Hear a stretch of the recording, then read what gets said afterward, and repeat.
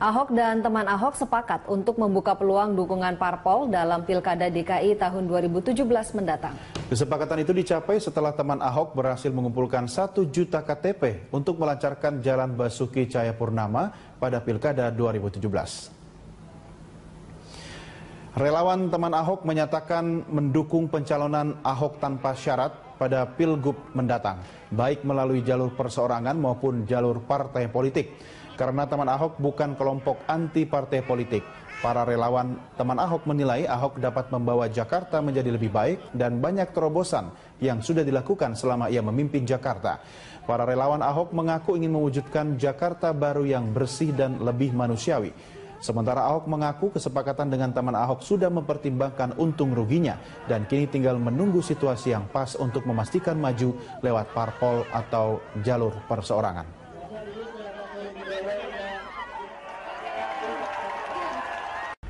Ahok dan teman Ahok sepakat untuk membuka peluang dukungan parpol dalam Pilkada DKI tahun 2017 mendatang. Kesepakatan itu dicapai setelah teman Ahok berhasil mengumpulkan 1 juta KTP untuk melancarkan Jalan Basuki Cahayapurnama atau Ahok pada Pilkada 2017.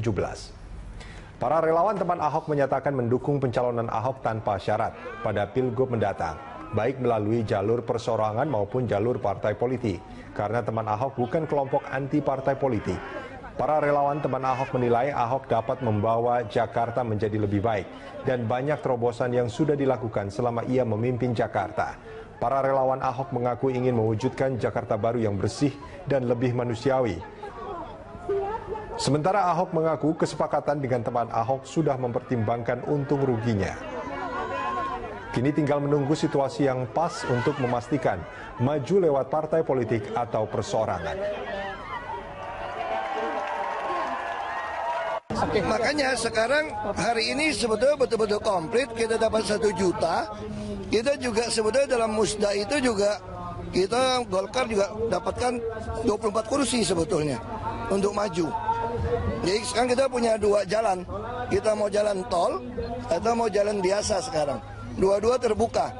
Kalau dulu kan sebelum ada satu juta, kita ragu apakah ada partai yang mau dukung atau tidak. Ternyata sebelum sampai satu juta pun partai sudah nyatakan mendukung. Nah jadi ini kita perlu duduk bersama tergantung teman-teman Ahok. Dan dia juga ngajuin ke MK juga. Yang penting misi untuk memberikan saya tiket jamin pasti maju ke pencalonan gubernur ini sudah terbuka. Teman Ahok hari ini mendatangi Mahkamah Konstitusi untuk mendaftarkan judicial review pasal 41 dan pasal 48 Undang-Undang Pilkada. Bersama teman Ahok, sejumlah elemen kemasyarakatan juga ikut mendukung judicial review ini. Teman Ahok bersama sejumlah elemen masyarakat mengajukan gugatan judicial review ke Mahkamah Konstitusi terkait revisi Undang-Undang Pilkada. Yang dipersoalkan adalah pasal 41 dan 48 Undang-Undang Pilkada. Pendamping ahli teman Ahok, Igusti Putu Arte, mempertanyakan urgensi pemaksaan waktu tiga hari dalam verifikasi faktual calon perseorangan yang diatur dalam pasal 48 Undang-Undang Pilkada dan tengah tiga hari untuk warga yang tidak bertemu petugas verifikasi faktual melapor ke panitia pemungutan suara dianggap janggal. Tiga hari itu, mau fiktif mau tidak fiktif, ini adalah soal metode bagaimana kemudian verifikator diberi keluasan ke lapangan. Mm-hmm. Itu poinnya. Jadi tidak ada hubungannya oh gara-gara karena banyak fiktif lalu dikunci lah tiga hari nggak ada. Artinya tapi, sebenarnya tetap bisa eh, tapi dengan jangka waktu yang lebih betul. lebih panjang. Ya, tetapi tiga hari ini ditambah lagi kemudian kalau tidak bisa ditemui, mm-hmm. kemudian dinyatakan gugur dan Mas Sadar tadi sudah mengatakan kalau kemudian secara kolektif sudah dikumpulkan, mm -hmm. lalu tidak bisa datang, masih ada waktu ternyata masa verifikasi, masih boleh lagi datang ke PP, KPPS tidak langsung gugur. Hmm. Senada dengan Putu Arte, pengamat politik carta politik, Yunarto Wijaya juga beranggapan dengan disahkannya pasal 41 dan pasal 48 Undang-Undang Pilkada ini, semakin jelaslah terlihat keinginan dari DPR mana sejarah jalur perseorangan ini mm-hmm. tanda kutip seakan-akan uh, tidak ikhlas diterima oleh DPR karena aturan yang semakin memberatkan. Yeah. Saya pun sebelum berbicara mengenai verifikasi faktual termasuk yang menolak naiknya angka ambang batas bagi dukungan jalur perseorangan. Tiga persen pun kalau kita bicara bandingan dengan negara-negara lain di sistem presidensial yang mengakui jalur independen Ya. sudah termasuk berat. Di Amerika Serikat katakanlah untuk menjadi calon presiden saja di masing-masing negara bagian hanya dibutuhkan misalnya negara bagian besar California Ya. hanya butuh satu persen. Terbesar Arizona misalnya itu tiga persen. Sementara itu, menurut Komisioner KPU Hadar Nafis Gumai, KPU tidak akan terlalu mempersoalkan keberadaan pasal 48 Undang-Undang Pilkada, tetapi lebih memfokuskan diri untuk bekerja. Kami juga melihat bahwa pengaturan di pasal 48 eh, khususnya tentang pembatasan tiga hari bagi pendukung yang tidak ditemui itu eh, harus eh, menyatakan dukungannya ke kantor PPS. Em, prosedur sensus atau prosedur menemui semua pendukung dan masa 14 hari itu sebetulnya sudah eh, kami laksanakan selama ini. Yang baru adalah pembatasan tiga harinya. Nah, ini buat penyelenggara sudah pasti eh, lebih memberatkan. Kalau bagi eh, pendukung atau dari tim pasangan calon, perkiraan kami iya, tetapi kami tidak akan mengelaborasi atau memberi pandangan lebih jauh tentang ini. Dari kalangan anggota Dewan sendiri membantah jika dikatakan ada upaya menjegal setiap calon independen yang akan maju ke pemilihan kepala daerah melalui disahkannya Undang-Undang Pilkada. Lalu bagaimana hasil judicial review teman Ahok dan kawan-kawan? Tentu Mahkamah Konstitusi memiliki skala prioritas dan unsur pemenuhan keadilan dalam memutus setiap permohonan. Tim Liputan, Berita 1 TV, Jakarta. Anda menyaksikan News Update, saya Dora Edward. Teman Ahok, Amalia Ayuning-Tias berharap agar sidang MK terkait pengajuan judicial review Undang-Undang Pilkada dapat dipercepat mengingat waktu yang tersisa hingga verifikasi cukup singkat. Setelah DPR mengesahkan Undang-Undang Pilkada awal Juni lalu, teman Ahok langsung mendatangi MK untuk mendaftarkan judicial review terkait pasal 41 dan 48. Saat ini seluruh berkas masih dalam proses menunggu persidangan. Juru bicara teman Ahok, Amalia Ayuning Tias berharap seluruh proses persidangan dapat dipercepat sehingga teman Ahok dapat mengatur strategi selanjutnya. Selain itu, Amalia juga menginginkan agar hasil verifikasi faktual oleh KPUD dapat diumumkan ke tim pasangan calon. berharap sekali dari apa namanya dari MK itu bisa mempercepat proses persidangan karena mengingat waktu yang dibutuhkan untuk uh, kejelasan hukum ini sangat uh, mepet sekali gitu. Kita kan pengennya ada kejelasan sebelum uh, verifikasi faktual itu ada gitu.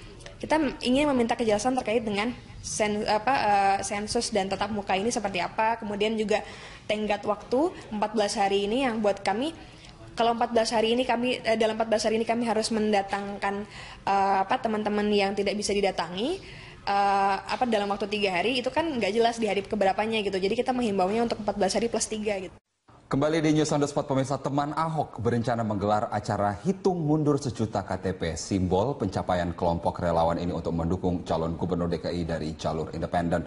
Dan untuk mengetahui acara yang dimaksud kita langsung bergabung dengan Kesia Netania yang ada di posko teman Ahok dari kawasan Pejaten Jakarta Selatan. Kesia update kemarin bahwa tinggal 9.000 lagi KTP. Apakah antusias teman Ahok untuk kemudian mendukung gubernur DKI Jakarta untuk maju masih terlihat? Ya Carlos, setelah lebih dari tiga bulan yaitu setelah uh, Maret lalu pengumpulan KTP ulang untuk mendukung Ahok sebagai gubernur dari calon independen kembali diulang karena harus menambahkan nama wakil calon gubernur. Saat ini pengumpulan KTP untuk uh, Ahok dan Heru Budi Santoso sudah mencapai 994.382 KTP dan itu hanya kurang 5.618 KTP dari target yang ditetapkan oleh teman Ahok yaitu 1 juta KTP. Dan seluruh data ini dapat kita lihat ataupun masyarakat awam pantau melalui web teman Ahok yaitu temanahok.com. Rencananya besok teman Ahok juga akan menggelar acara hitung mundur 1 juta KTP yang akan nantinya kemudian diserahkan kepada KPU tanggal 3 Agustus mendatang. Teman Ahok sendiri yakin bahwa KTP yang dikumpulkan akan bisa melebihi dari target yang mereka tetapkan yaitu 1 juta KTP yang jelas melebihi target yang ditetapkan oleh KPU yaitu 532 KTP untuk calon independen dapat maju sebagai calon gubernur DKI Jakarta.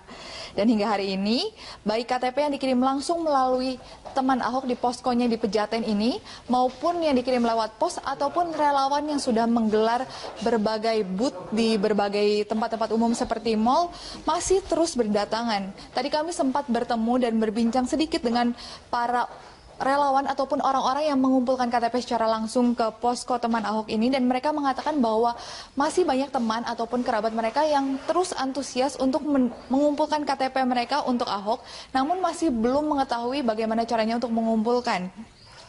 Dan antusiasme ini terus disambut oleh teman Ahok walaupun nanti pada besok pada besok hari mereka akan uh, menggelar acara untuk menunjukkan bahwa mereka telah berhasil mengumpulkan satu juta KTP untuk mendukung Ahok dalam calon independen, namun uh, kemudian mereka akan terus mengumpulkan KTP itu sampai tanggal 3 Juli mendatang.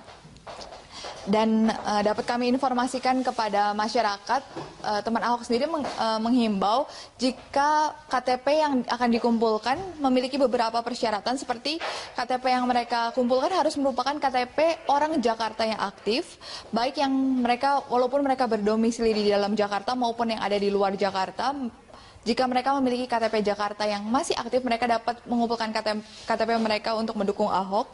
Juga mereka harus mendukung tanpa paksaan dan bukan anggota dari PNS, BUMN, TNI maupun Polri.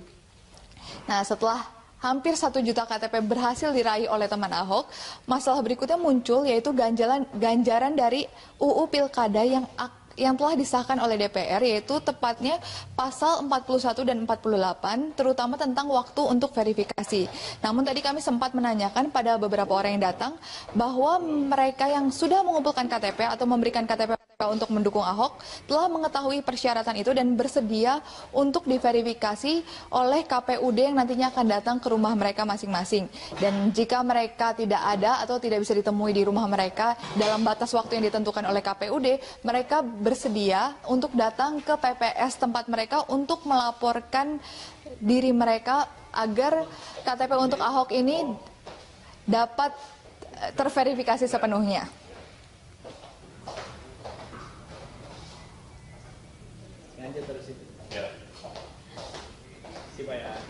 Teman Ahok mendatangi Mahkamah Konstitusi untuk mendaftarkan judicial review pasal 41 dan 42 Undang-Undang Pilkada. Bersama teman Ahok, sejumlah elemen kemasyarakatan juga ikut mendukung judicial review tersebut.